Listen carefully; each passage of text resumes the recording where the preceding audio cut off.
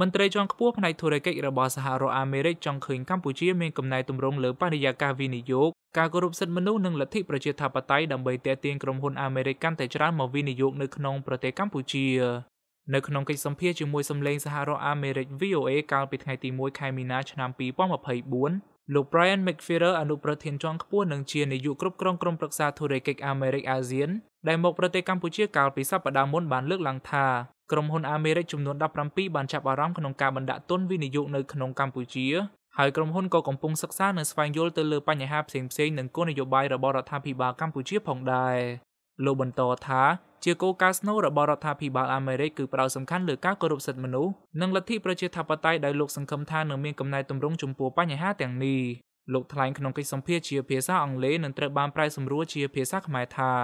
The US government talks to the to Cambodia about human rights, trafficking in persons, child labor. Those are all areas where ខ្ញុំបានដឹងថារដ្ឋាភិបាលអាមេរិកកំពុងពិភាក្សាជាមួយកម្ពុជាអំពីសិទ្ធិមនុស្សការជួញដូរមនុស្សនិងពលកម្មកុមារទាំងនេះគឺជាអ្វីដែលរដ្ឋាភិបាលកម្ពុជាកំពុងធ្វើឲ្យមានភាពល្អប្រសើរឡើងខ្ញុំគិតថាជាមូលដ្ឋានក្រុមហ៊ុនទាំងនោះ មិនមានបញ្ហាអ្វីទេបើរដ្ឋាភិបាលអាមេរិកយល់ព្រមទៅលើបញ្ហាដែលកំពុងធ្វើឲ្យល្អប្រសើរនេះហើយយើងអាចដំណើរការបានក្រុមហ៊ុនទាំងនោះពួកគេចង់ធ្វើឲ្យស្របតាមគោលនយោបាយរបស់សហរដ្ឋអាមេរិក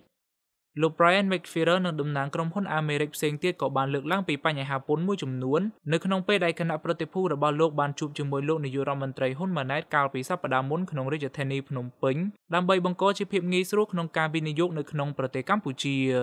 So they're looking at the market opportunities, but they're also looking at difficulties and they did raise ដូច្នេះពួកគេសម្លឹងមើលឱកាសទីផ្សារហើយពួកគេក៏មើលឃើញពីការលំបាកហើយពួកគេក៏បានលើកឡើងអំពីបញ្ហាមួយចំនួនជាមួយលោកនាយករដ្ឋមន្ត្រី និងរដ្ឋមន្ត្រីផ្សេងទៀតអំពីបញ្ហានៅក្នុងភាពមិនប្រកបប្រជាជុំវិញពន្ធមិនដឹងថាសាវនកម្មពន្ធនឹងទៅជាយ៉ាងណាទេ ពួកគេបានលើកឡើងពីបញ្ហានេះ ហើយពេលខ្លះមានការលំបាកក្នុងការទទួលបានលិខិតអនុញ្ញាតសម្រាប់ការពង្រីកសកម្មភាពរបស់ពួកគេប៉ុន្តែខ្ញុំគិតថាពួកគេក៏មានទស្សនៈវិជ្ជមានក្នុងន័យថាប្រទេសកម្ពុជា មានកំណើនសេដ្ឋកិច្ចរឹងមាំខ្លាំងពី5ទៅ6ទៅ6.5%ក្នុងមួយឆ្នាំហើយនោះមានន័យថាសេដ្ឋកិច្ចកំពុងមានកំណើន ក្រុមប្រឹក្សាធុរកិច្ចអាមេរិកអាស៊ានដែលតំណាងឲ្យក្រុមហ៊ុនធំធំប្រមាណ17ដែលមកបំពេញទស្សនកិច្ចនៅក្នុងប្រទេសកម្ពុជាមានប្រតិបត្តិការអាជីវកម្មលើវិស័យបច្ចេកវិទ្យាទំនើបបណ្ដាញផ្សព្វផ្សាយសង្គមទេសចរហេរញ្ញវត្ថុធម្មពលផ្សារលក់រាយកំសាន្តសាលនិងធានារ៉ាប់រងជាដើមក្រុមហ៊ុនទាំងនោះមានដូចជា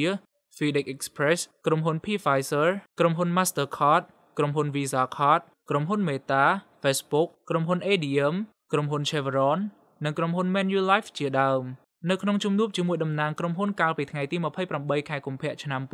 2024លោកហ៊ុនម៉ាណែតបានបញ្ជាក់អំពីយុទ្ធសាស្ត្របញ្ចកោណដំណាក់កាលទី1និងក្របខ័ណ្ឌគោលនយោបាយគ្រប់គ្រងដល់ការវិនិយោគរបស់រដ្ឋាភិបាលកម្ពុជាតាមរយៈការផ្ដល់នូវបរិស្ថានវិនិយោគអំណោយផលជាមួយនឹងការធានានូវសន្តិភាពស្ថិរភាពនយោបាយនិងសន្តិភាពសង្គម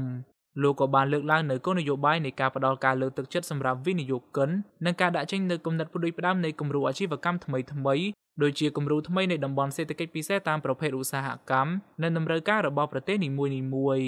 នេះបើតាមសារដែលត្រូវបានបង្ហោះលើទំព័រ Facebook របស់លោកនាយករដ្ឋមន្ត្រី លោកហ៊ុនម៉ាណែតក៏ជំរុញឲ្យក្រុមប្រឹក្សាធុរកិច្ចអាមេរិកអាស៊ានបន្តកិច្ចសហប្រតិបត្តិការជាមួយក្រសួងស្ថាប័ននិងភាគីពាក់ព័ន្ធនៅកម្ពុជាក្នុងការដាក់ចេញនិងរៀបចំផែនការដើម្បីអនុវត្តឲ្យចេញជាសកម្មភាពជាក់ស្ដែងនៅក្នុងការលើកកម្ពស់ទំនាក់ទំនងក៏ដូចជាការវិនិយោគលើវិស័យឯកជននៅកម្ពុជាផងដែរអ្នកជំនាញសេដ្ឋកិច្ចនៃរាជបណ្ឌិតសភាកម្ពុជាដែលជាស្ថាប័នរបស់រដ្ឋាភិបាលលោកបណ្ឌិតគីសេរីវត្តថ្លែងថា ស្ថានភាពនៃការវិនិយោគរបស់អាមេរិកក្នុងប្រទេសកម្ពុជានៅមានកម្រិតនៅឡើយក្នុងពេលបច្ចុប្បន្ននេះដែលសារតែអាមេរិកជាប្រទេសដែលមានឧស្សាហកម្មខ្នាតធំខណៈកម្ពុជាកំពុងខ្វះកម្លាំងពលកម្មនិងជំនាញ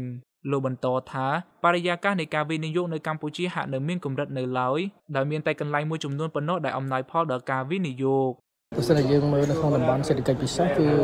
បរិយាកាសនៃការវិនិយោគនេះគឺមានស្ថានភាពល្អប្រសើរហើយក្រុមហ៊ុនជាច្រើនជាក្រុមហ៊ុន compliant ក៏ប៉ុន្តែបើនៅក្រៅតំបន់សេដ្ឋកិច្ចពិសេសក្រុមហ៊ុនមួយចំនួនក៏អាចនឹងតែងតែលួចបន្លំមួយចំនួនដែរផ្ទុយពីច្បាប់លោកបន្ថែមថាក្រុមហ៊ុនដែលវិនិយោគនៅកម្ពុជាភាគច្រើនជាក្រុមហ៊ុនចិនកូរ៉េនិងជប៉ុន លោកក៏ជំរុញឲ្យសហរដ្ឋអាមេរិកបន្តធ្វើការវិនិយោគឲ្យកាន់តែច្រើនដើម្បីកែលម្អបរិយាកាសវិនិយោគនៅកម្ពុជាឲ្យកាន់តែល្អប្រសើរឡើង។ ជាទូទៅដើម្បីចូលរួមចំណែកនៅក្នុងការបង្កើតបរិយាកាសវិនិយោគនៅកម្ពុជាឲ្យបានប្រសើរនោះគឺសហរដ្ឋអាមេរិកគួរតែជំរុញឲ្យមានការវិនិយោគពីអាមេរិកមកកាន់តែច្រើនដើម្បីឲ្យក្រុមហ៊ុនអាមេរិកមានសម្លេងនៅក្នុងប្រទេសកម្ពុជាហើយមានរួមចំណែកនៅក្នុងការកែលម្អបរិយាកាសវិនិយោគនៅកម្ពុជាឲ្យកាន់តែប្រសើរជាងមុនទៀតបាទ ថ្លែងនៅក្នុងពិធីសម្ដែងសម្ណើជាមួយប្រជាពលរដ្ឋខ្មែរនៅក្នុងប្រទេសអូស្ត្រាលីកាលពីថ្ងៃទី3ខែមីនាឆ្នាំ2024លោកនាយករដ្ឋមន្ត្រីហ៊ុនម៉ាណែតលើកឡើងថាកម្ពុជាស្វាគមន៍វិនិយោគិនពីគ្រប់ប្រទេសមិនមែនតែប្រទេសចិនមួយនោះទេ លោកលើកឡើងថាក្នុងរយៈពេល6ខែមកនេះម៉ាក្រូសេដ្ឋកិច្ចរបស់កម្ពុជាមានស្ថិរភាពប្រសើរដែលចាប់តាំងពីរដ្ឋាភិបាលថ្មីចូលកាន់តំណែងគម្រោងវិនិយោគដែលកម្ពុជាទទួលបានមានចំនួន172គម្រោងទាំងក្នុងនិងក្រៅប្រទេសដែលមានទំហំវិនិយោគទុនប្រមាណ74000លានដុល្លារអ្នកខ្លះគេថាកម្ពុជា គឺទាញតែវិនិយោគពីប្រទេសចិនឬមួយប្រទេសតាមួយខ្ញុំថាអត់ទេខ្ញុំដើរតាក់មួយគ្រប់កន្លែងពីណាទៅក៏ខ្ញុំស្វាគមន៍ដែរខ្ញុំមិនថាខ្ញុំជួប100គេទៅទាំង100ទេ បើជួប100ទៅតែ1ទៅតែ2ក៏ជាជោគជ័យដែរថ្ងៃក្រោយជួបថែមទៀតទាញទៅថែមទៀតនៅក្នុងជំនួបជាមួយលោកហ៊ុនម៉ាណែតនៅទីក្រុងភ្នំពេញកាលពីសប្តាហ៍មុនលោក Brian McFerrer អនុប្រធានចុងខ្ពស់និងជានាយកគ្រប់គ្រងក្រុមប្រឹក្សាធុរកិច្ចអាមេរិកអាស៊ានក៏បានលើកឡើងថានៅក្រោមការគ្រប់គ្រងរបស់នាយករដ្ឋមន្ត្រីថ្មីក្រុមហ៊ុនអាមេរិកមានអារម្មណ៍ថារដ្ឋាភិបាលនេះកំពុងបញ្ជូនសញ្ញាជាច្រើនអំពីការបើកចំហចំពោះការវិនិយោគស្វាគមន៍បរទេសនិងស្វាគមន៍ក្រុមហ៊ុនអាមេរិកជាពិសេស រីកាប្រជាធានីភ្នំពេញខ្ញុំសំច័ន្ទសំណាង VOA